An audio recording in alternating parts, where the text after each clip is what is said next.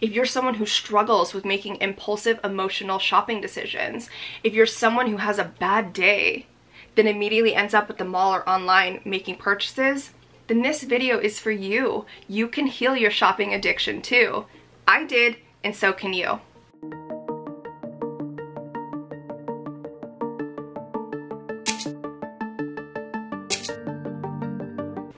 Hello beautiful soul and welcome back to my channel.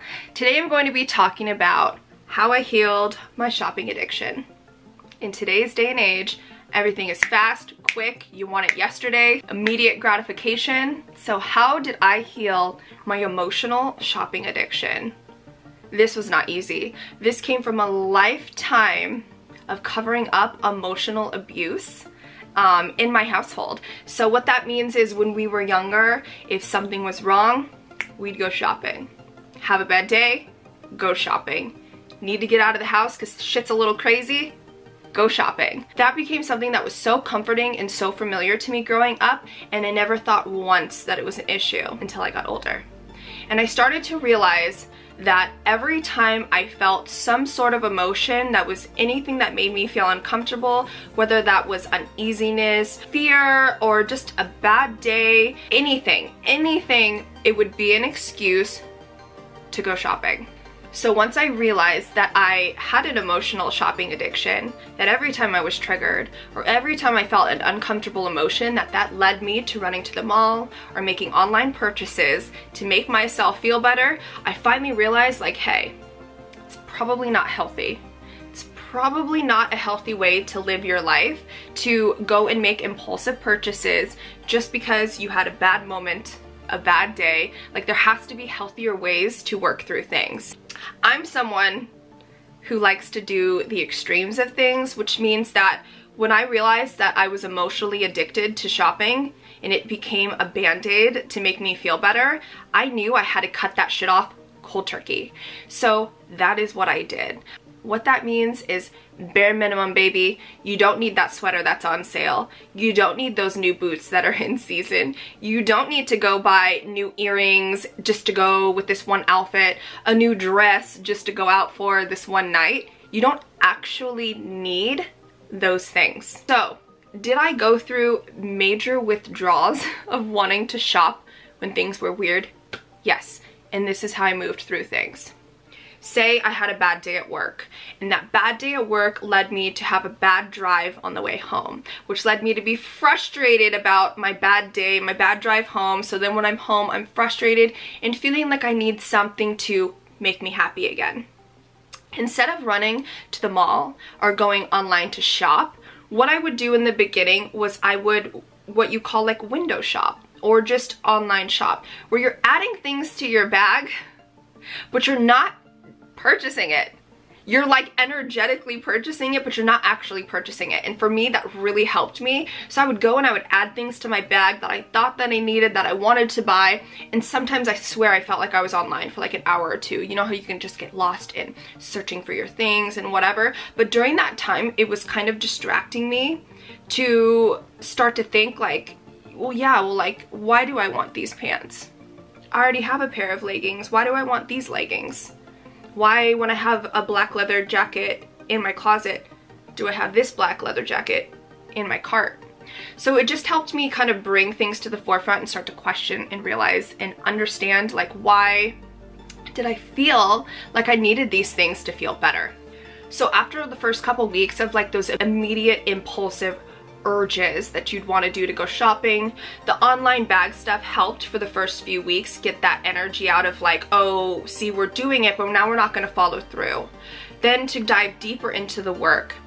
On the days when I felt like I wanted to go shopping or I wanted to buy something that I didn't need, I would just sit with it. I would start to question, why do I want it? If I get it, what will it make me feel? If I feel this, why am I feeling this from this? How long will that feeling last?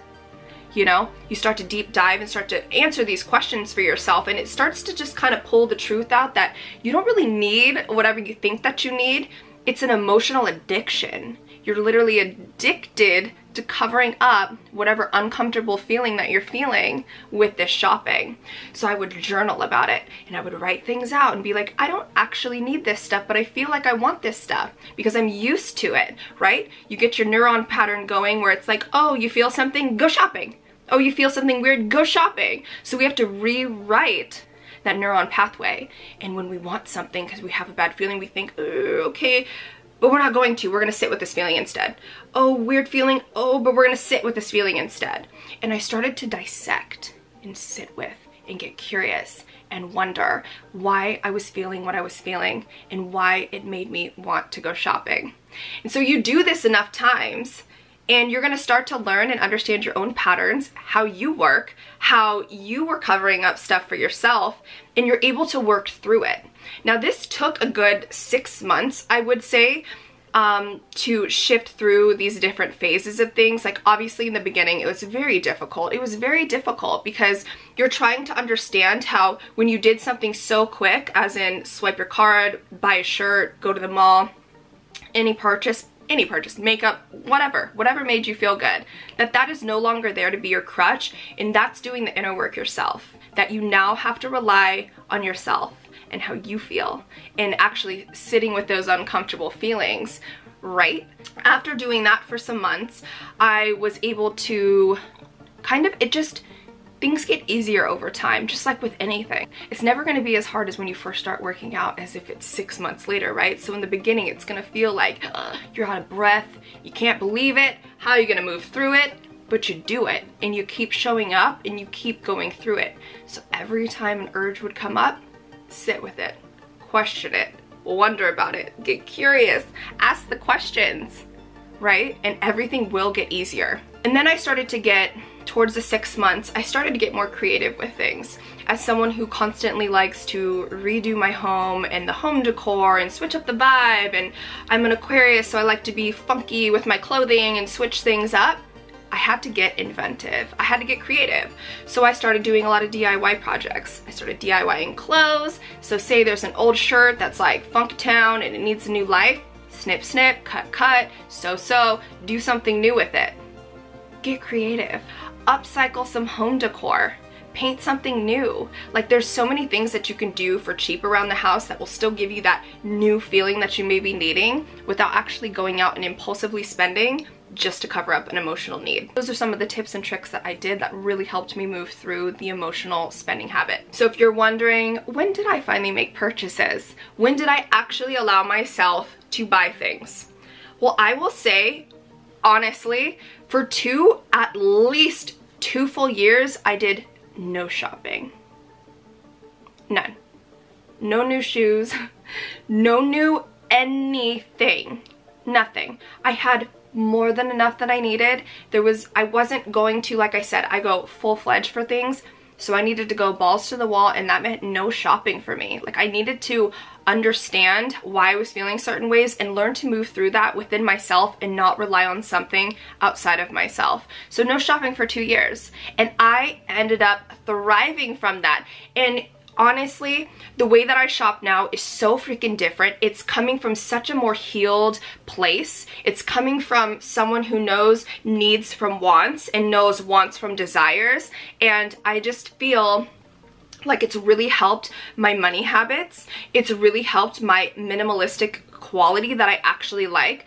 I like going into my closet and everything in there fits me. Everything in there is what I'm, you know, want to wear. It's to the point. It's, it's perfect the way things are designed now. So basically what I am saying to you is you too can heal your emotional shopping addiction. It's gonna get uncomfortable. It's not gonna be fun. It's so easy to just quick charge it and make yourself feel better. Cut it off. Cut that shit off get rid of it. Just cold turkey, goodbye. You don't need to shop. You've got a roof over your head. You've got food in your belly. You've got hydrating, clean water. It's like you actually have everything that you need. Your ego is just telling you that you need other things instead to make you feel better. Let me know if you are someone who struggles with making emotional shopping purchases. You've ever suffered from a shopping addiction? And how did you heal it? Are you wanting to heal it? Is it even something that you're just maybe now recognizing within yourself? Let me know. I'm very curious. Thank you guys for watching and we will see you in the next video.